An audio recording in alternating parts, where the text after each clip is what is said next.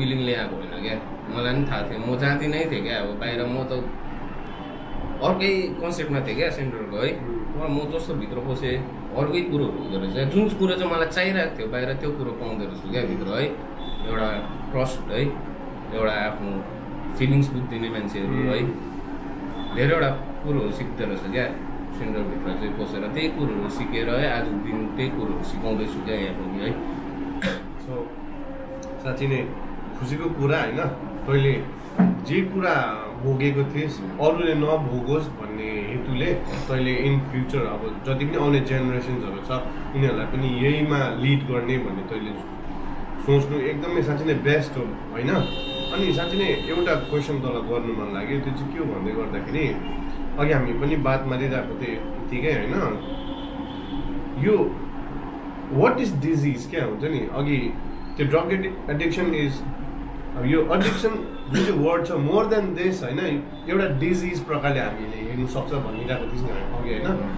What is disease भन्दै गर्दाखेरि कसरी डिफाइन गर्छस् यसलाई चाहिँ? अब यो बिमारी चाहिँ है डब्लुएचओ है जो छ है उनीहरूले नै है प्रुभन छ क्या है? यो चाहिँ एउटा एडिक्सन चाहिँ एउटा बिमारी हो भनेर है कन्फर्म भएको छ क्या अब है? यो एडिक्सन चाहिँ एउटा बिमारी हो भनेर होइन? अब बिमारी मिन्स आजको दिनमा हामी कस्तो खालको बिमारी हो भन्दाखेरि चाहिँ है हाम्रोमा क्या अब नर्मल मान्छेको भन्दा होइन?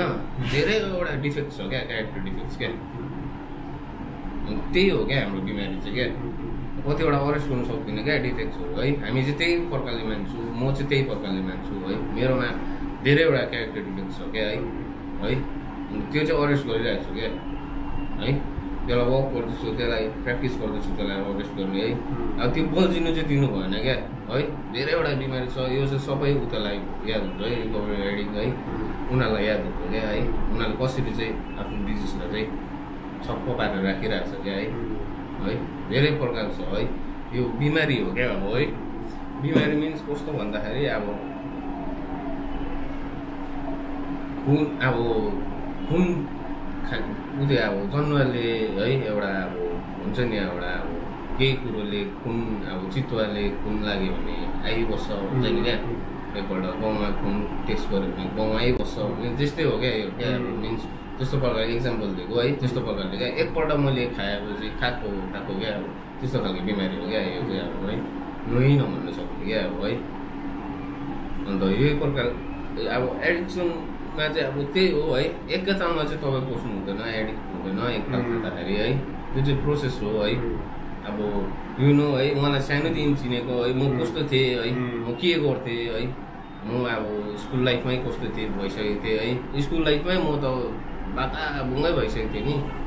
फाइनेन्सियली भएको थिइनँ स्कुल लाइफमा तर एक अनम्यानेजेबिलिटी त धेरैवटा कुरोमा भएको थियो नि। म है। अन्त देखिराख्नु भएको थियो। अब म न त पढ्नु सक्थेँ न त क्लास गर्नु सक्थेँ है न त केही गर्नु सक्थेँ क्या अब है।